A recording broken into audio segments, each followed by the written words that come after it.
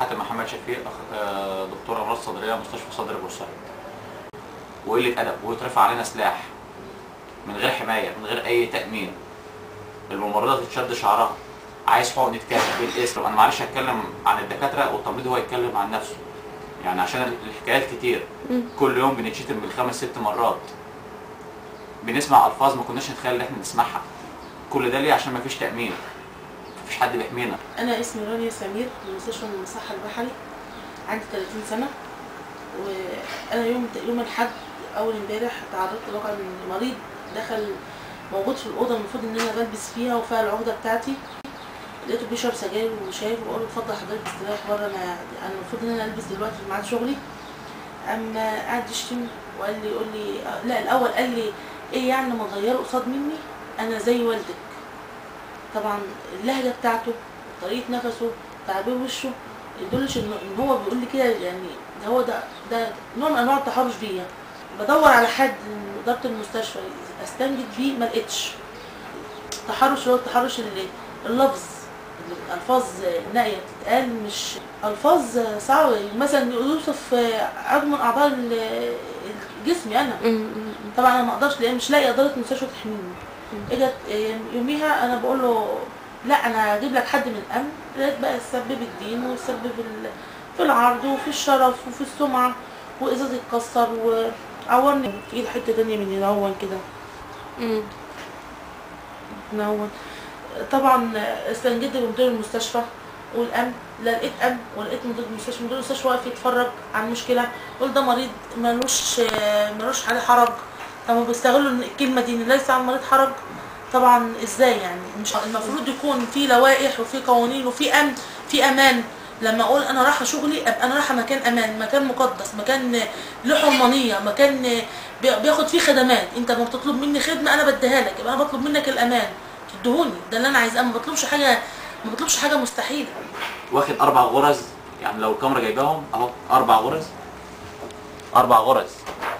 ده واربع غرز وسنتي اتكسرت وجالي ارتجاج في المخ ودكتور تاني نازل يقول في إيه يا جماعة ودنه اتقطعت أول امبارح 6 و 24 3 بعد ما حصل الموضوع ال- اللي هو الراجل ده اللي كان قاعد في الأوضة و... آه، وتحرش بيك يعني وطلب منك إنك. تقلعي هدومك قدامه وكده. هل قدمتي أي بلاغات أو أخدتي أي إجراءات قانونية؟ الأول أنا أنا جيت بالترتيب يعني بلغت إدارة المستشفى إن في مريض حصل منه كذا كذا. طنشه وكبري دماغي. لقيت فجأة إن ازاز بيتكسر والمريض بيجري ورايا عشان يعورني وفعلا عورني وما لاقيش حد يحميني. فطبعا أنا في بعض من المرضى هم موجودين حاليا دلوقتي. اتصلوا بالشرطة الشرطة ما جتش الشرطة العسكرية هي اللي إجت. طبعا بعد فترة بس برضو كان لسه في المشكلة برضو ساعتها حصلت. إجت الشرطة العسكرية أخدتني أنا وزميلة ليا. رحنا اسم البوليس عملنا عملنا محضر بالواقع. في نفس الوقت إن المريض مشى طب أنا هجيب المريض منين؟ أغلبية عناوينهم أصلا ما بتبقاش صادقة. الشرطه العسكريه مشت المريض؟ أهم حاجة تمشي المريض. طبعا المحضر اللي أنا عملته دون ملوش إن هو يبقى محضر اداري ويتحط في الإضراب وخلاص. يبقى اللي أنا عملته ده كله ما فيش ملوش نتيجة. برضه هيجي مريض غيره يعمل معايا كده. اللي اجى معايا مريض من المرضى الموجودين عندي حضروا المشكلة وجوا معايا الاسم. طب أنا وأنا كل شوية بدل ما أروح امضي في شغلي امضي في الاسم يعني بدل ما أروح اشتغل في شغلي في المستشفى أروح اشتغل في الاسم دكتور كريم بيقول لي لما يجي أي حالة قولوا له لا مش موجود. قلت له إزاي؟ طب يا دكتور كريم أقول له حضرتك مش موجود. يعني أنت هتحطنا إحنا في الغلط وأنت حضرتك مش موجود إزاي؟ قال قولوا له كده اتصل بالدكتور جمعة مدير المستشفى بتاعنا. قال له يا دكتور جمعة أنا ماشي ولو إجت أي حالة أنا مش موجود. يعني هل يرضي مني إن إحنا نبقى موجودين والدكاترة مش موجودة معانا وإحنا اللي نبقى في الوش لهم للمرضى والاذياء إجت بنت المريضة راحت هاجمه عليا وراحت ضرباني. حتى قدام البنات اللي موجودة كانوا معايا موجودين بنات في قلب المستشفى. انما واحدة اسمها نادية زميلتي حشتني من إيدها واتضربت وكان الدكتور بتاعنا المدير كان واقف ورا الرعاية. إما أجي بقول له أنا عايزة حقي من قلب المستشفى لأن أنا اتضربت وأنت حضرتك كنت موجود وبتصلي ما انتش موجود معانا. هل ده يرضي ربنا يعني إحنا نتضرب والمدير بتاعنا بيصلي بيقول أصل أنا كنت بجيب الجيش. جيش إيه وإحنا بنتضرب وبنتأذى وبنتهان وشتمنا وطلعنا سلسفلنا في قلب المستشفى هنا ومفيش حد جاب لنا حقنا. أنا زي قلته ما بيعملناش أي حاجة. إحنا هنا 45 ممرضة. واحد وما بيعملناش حاجة. ما بيحميش حد. طيب حضرتك هو ال- التعدي بالضرب كان عبارة عن إيه بالظبط؟ يعني شدوني من شعري وضربوني وخلوني خلاص يعني واحدة بنتها بن- ماشية بعكازين سابت العكازين وراحت هجمة عليا عجنتني في بعض ما بقتش قادرة أتكلم. هو بقول لحضرتك واحدة زميلتي هي اللي حشتني من تحت إيدها. والمشكلة دي حضرتك شايفة إنها كانت موجودة؟ ده لا ده موجودة على طول بصراحة بنتهان وبنشتم وما فيش حد بيجيب لنا حقوقنا خالص في قلب المستشفى. نهائي ما فيش حقوق بنيجي ناخدها من قلب المستشفى ما فيش حقوق لنا بناخدها خالص أنا ولا أي واحدة من زملاتي ما فيش حد بياخد حقه هنا. يجيب الغلط يجيب الحق بتاعنا عيان وإحنا لا مؤاخذة يعني ما إحناش ولاد ناس. يعني هما العيانين ولاد ناس وإحنا لا. ليه؟ طب حضرتك شايفة إن الوضع في ال... كم الاعتداءات وال كتير. لا في ال 21 سنة اللي فاتت هل المعدل ثابت ولا بيزيد ولا لا بيقل؟ بتزيد ده بتزيد ده والله بتزيد عندنا هنا بكتير. يعني كنت 600 مرة نتهان ونتشاكر و- ويضربونا ويهزقونا كتير قوي. فبعد إذنكم بس إحنا عايزين حماية لنا عايزين حماية لنا في قلب المستشفى تحمينا. نيجي من بيوتنا نتحمى مش نيجي من بيوتنا نتضرب. أستاذة سمر سامي النجار مستشفى المصحة البحري ببورسعيد دخول يوم الجمعة ده تبقى عبارة عن طوارئ. الطوارئ دي المفروض تثبت رسمي بالدخول بجواب تأمين الصحي يعتمد. كان نظام موجود عندنا في مصر إن إحنا ما بنمشيش غير بورق من الأول أعرف حضرتك مين عشان أتعامل معاك. قام قايل لي أنا عايز علاج أنا مش طالب مني غير كده. ويلا روح.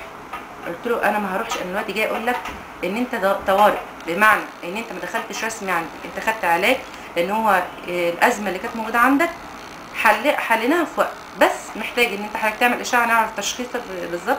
قام مطلع من الدرج بتاعه دفتر التأمين الصحي الأخضر وقام رميهولي قال لي اعملي أنت ده أنا ما بعملش حاجة أنا عايز منك علاج وبس. قلت له لا ما ينفعش. حضرتك لازم تعمل له ان بياناتك الشخصية برقمك القومي بصورة بطاقتك لازم كلها يسلم هناك فقام قايل لي يعني أنا ماليش لازمة هنا وقام رافع البطانية. قلت له مش حاجة اسمها مالكش لازمة أنت هنا مثبوت عندي إن أنت دخلت طوارئ. فعشان تثبت رسمي هتنفعك في شغلك في اجازاتك في عدم خصم ليك. ده حاجة أولوية ليك وأولوية لنا إن أنا لما يجي لك علاج لأن إحنا نظام تأمين صحي لازم أحسب فاتورة كل أدوية أو دخول أو سرير أو غذاء هيطلع له قال لي أنا بتكلمش مع رجالة. أنا بتكلم أنا بتكلمش مع حريم بتكلم مع رجالة. ولو اتكلمت مع حريم بتكلم كده. وقام قلع لي هدوم. الإجراء الرسمي اللي أنا اتخذته إن أنا بلجأ لأكبر مني. أنا دفعة 2000 المفروض إن لما ألجأ ألجأ لمين الرئيسة بتاعتي. من باب الأولى إن هي موجودة معايا في الدور كنجده لجأت ليها طبعا جت. ف- في أثناء إن أنا بلجأ بيها المرضى نفسهم أنا سامعاهم عيب عليك يا جدع. عيب البس هدومك. ما ينفعش. ده هي دي اللي هتنفعك. رفع عليها الجفت دون وهقول لها حط في زورك لو ما قلتش ما قلتليش هي فين. طبعا بقيمة الشتايم اللي هو بيشتمها أول حاجة عندهم يعني الحاجة الصغيرة الشتيمة الصغيرة الشرف. أنتوا بتيجوا هنا عشان يحصل فيكم بتيجوا هنا عشان يتعمل فيكم طب أنا من باب أولى إن أنا أما أتعامل بالطريقة دي يعني اسمنا ملائكة رحمة. فين بقى ملائكة الرحمة؟ ده يعني ده كله ده كلام من وسوسة الشيطان. أنا ألجأ لمين؟ عشان هو ينجدني من شتايم الشرف والعرض والإهانة وقلة الأدب وإن أنا مع الدكتور هنا في المستشفى آه، جوزي. أنا نزلت المدير المدير بقول له لو سمحت يا دكتور تعالى لي. أنا محتاجة إن حضرتك تساعدني في إن مريض بطلب من الإجراءات الرسمية للدخول راح قال لي هدومه المدير دور وشه الناحية الثانية لجأت للمدير ما عمليش أي حاجة. لجأت لفرد الأمن اللي عنده 21 سنة. طلع بيقول له ما ينفعش كده استر نفسك قدامها وتعالى اتكلم. إن كان لك حق عندها خده لكن أنت كده مالكش حق. فبقى ماسك الم- الراجل الأمن من هدومه وقام مديله باللخاميه كل ده وهو ما لبسش هدومه لسه كان عريان من فوق الناس قام ملبسين البنطلون أنا بعترف بنفسي دلوقتي إن أنا مش ملائكه رحمة أنا هقول ممرضة. الممرضة دي بتعامل معاك بإنك نفسيتك تبقى كويسة. إن أنت تبقى آه، آه، ترجع لبيتك تمارس حياتك الشخصية عشان ما يبقاش عيب عليك إن أنت ما عندكش فلوس مثلا في بيتك. إحنا بنتكلم وديا لكن أما الجا للمدير ما يعبرنيش. رئيسة التمريض واحدة زي زيها اترفع عليها سلاح. وبعد ده كله ألجأ لنقيب التمريض في يوم سبت وده يوم السبت ده أجازة رسمي. ليه؟ يجيني من بيته؟ طب هو أنا هستنى اللي هيقوم لي من بيته؟ وغير كده كمان يعني أنا لجأت لرئيس التمريض واترفع عليا سلاح. ال- الأمن والضرب. بعد كده المريض عايز يدور عليا وعايز يجيبني. هي فين بنت وبنت وبنت وأمها ودينها وعمها وخالها وشتايم؟ أنا هجيبها وهعلم عليها. ولحد الآن على فكرة هو بيقول إن هو بيدور عليا. واتصل بكذا كذا حد. عايز تليفوني وعايز عنواني. المدير المحترم. المدير على نفسه بقى مش علينا لأن ما لا- ما لاحظناش رد فعل ليه بيقول لي بتاع الأمن بعد ما المريض كسر إزاز المستشفى عشان يدور عليا يشوفني أنهي أوضة. زمايلي حجزوني في أوضة عشان الأمان. وغير كده كنت ساعتها مع نقيب التمريض قال لي اقعدي أنا اللي هحميكي. يدور عليا ويكسر إزاز المستشفى ويرفع الإزاز على واحدة زميلتي في قسم تاني. يقول لها قولي لي هي فين لأنيكي انت كلام أنا آسفة اللي قلت قالت له أنا ما أعرفش أنا سامعة زيق بس مين اللي عامل معاك المشكلة؟ طب اقعد ونتفاهم قام كسر لها الإزاز بتاعها وقام راميها على العرض إحنا قابلنا دكتور برضو كان بي بيحكي الأعتداءات اللي بتحصل. في تقدير حضرتك شايفه إن الأعتداءات ضد الممرضات نفس عدد الأعتداءات ضد الدكاترة ولا الممرضات لا، أكتر؟ الممرضات أكتر. ليه؟ مم. لأن أساسا الممرضة هي الواجهه الرئيسية للمكان. مم. الدكتور ده اللي كان حضرتك هو دكتور حاتم آه، على عيني وعلى رأسي أي دكتور. بس الدكتور ده بيبقى ليه اسمه مقيم بمعنى إن هو جاي من بلد تانية ينتدب أو يقيم هنا. في مدة مثلا يوم أو اتنين حسب نبطشيته أو يوم كامل 24 ساعة يبقى هو ماسك رغم. إن ده غلط. ثلاثة مشوا خالص وثلاثه عايزين يكتبوا أجازات. من ضمنهم أخصائي. طب أنا أجيب مين يشغل عندنا دكتور ومش ها مش هحرج إن أنا أقول حقيقة. دكتور هو اللي بيخلي العيان يجي له واتعودوا على كده. يروح عياده الخارجية يدفع يدفع الكشف بتاعه في العياده الخارجيه ويحوله هنا. إحنا راجعنا على الاضراب ده عشان إحنا جهة رسمية معتمدة ان إحنا ما ينفعش لنا اضراب إحنا اتأسفنا في اليوم ده للناس اللي داخلة والخارجة. بس إحنا بيتلقى علينا إزاز وبنتضرب ويترفع علينا سلاح من جميع الأنواع لدرجة إن المرضى نفسهم قالوا لنا هنجي لكم بيوتكم. نروح نعين مين بقى؟ حضرتك عملتوا الاضراب ده إمتى؟ الاضراب دون كان يوم؟